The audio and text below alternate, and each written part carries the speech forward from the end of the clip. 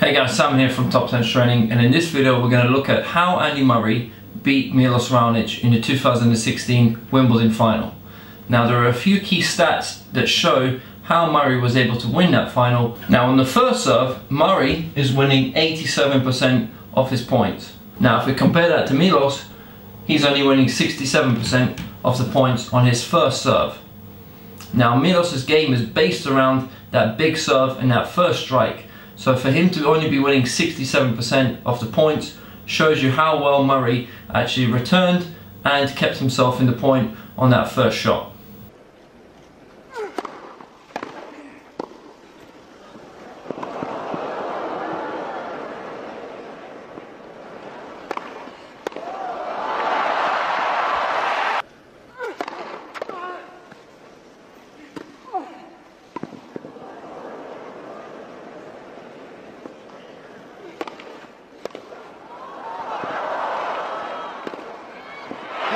Now the next stat is on the second serve. Andy Murray is winning 56% of the points on his second serve and Milos Raonic is winning 71% of the points on his second.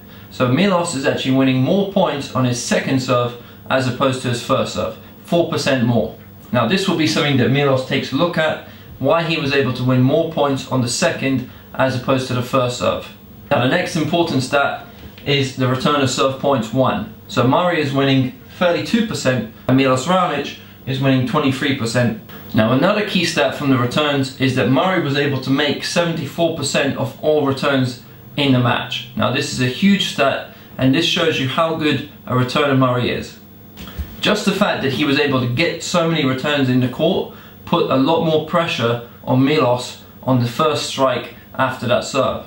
So this is something that Milos was not having to deal with throughout the rest of the tournament most players he was playing, he was winning a couple of free points every service game just with his first serve or even his second serve. Now one of the reasons why Murray is such a good returner is because of his short compact swings when he is playing a big server such as a Raonic or a Isner. A common mistake that I see a lot of players doing is when they're facing a bigger serve they still have quite a big backswing. You don't have time for this and this is what Murray done so well. He took very little backswing on the return of serve, he just blocked the ball back in and this is what kept him in those return games over and over again throughout the match.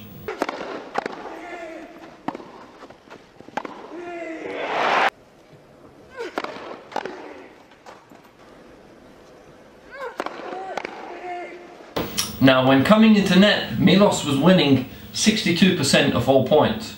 Now this shows you another key strategy from the match from Murray's side and that was that Murray was able to pass Milos quite a lot at the net with a 1-2 strike combination. So instead of going for the passing shot of that first shot where Milos is approaching him, Andy Murray would set it up with the cross-court pass, putting it into Milos's feet, which then Milos has to volley up for, and then Murray can strike on that next shot.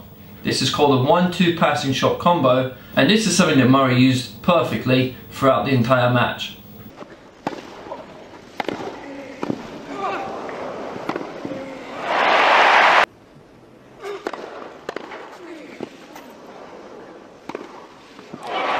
Now Andy was able to win 77% of points when he came to net so he was selecting when to come in at the right time and he was also being a bit more aggressive with his approach shots. Now the difference was when Milos was coming in he was using that slice a lot to try to keep the ball low but because Murray is such a good counter puncher he knows how to deal with that kind of approach shot.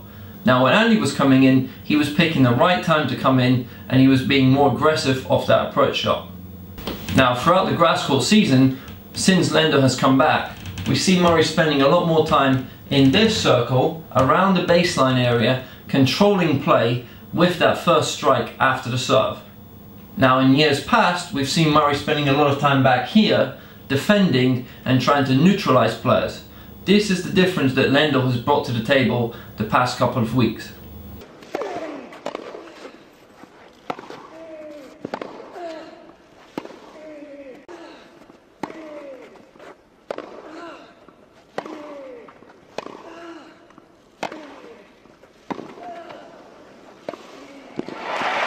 Now another thing that we've noticed over the past couple of weeks since Lendl has rejoined Murray's coaching team is that Murray has been a lot more positive.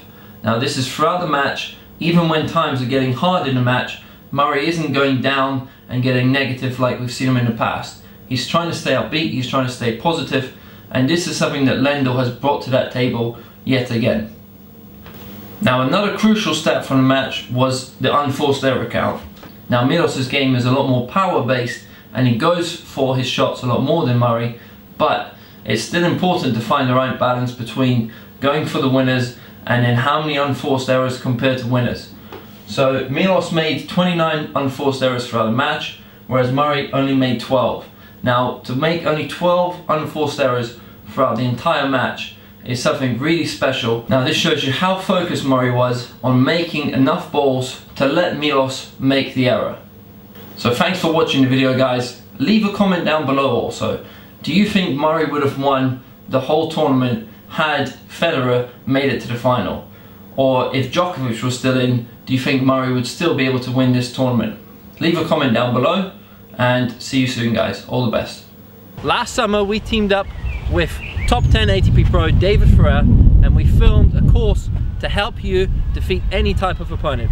Now this is a tactics course and a course where David reveals all his secrets to winning against any type of opponent and in different conditions that you may encounter on a tennis court. Now David has been a top 10 player for the past 10 years and this is the first time that a top 10 player is willing to share his secrets with the world. Now this is a unique opportunity for you guys to learn the secret tactics that have helped David defeat players such as Wawrinka, Djokovic, Nadal and Murray among many others. These are tactics that he's used on a daily basis and these are tactics that you can use yourself. No matter what your level, no matter who you're playing, no matter your standard, whether you're a beginner, an intermediate or an advanced player, these tactics are universal and you encounter these kind of opponents on every level and these tactics are going to help you defeat them. Now to watch the first video, all you have to do, click on this box right here and if you're using a mobile device, click the link under the video. That will take you to a page, you enter your email and we'll send you video number one right away. Now guys, this is a free video course, so you can have a look at it right now. Don't delay, click this button. This course is only open for five days and last summer all the spaces were full within three days. So don't delay, click this box right here and mobile users click the link under the video. See you at video number one.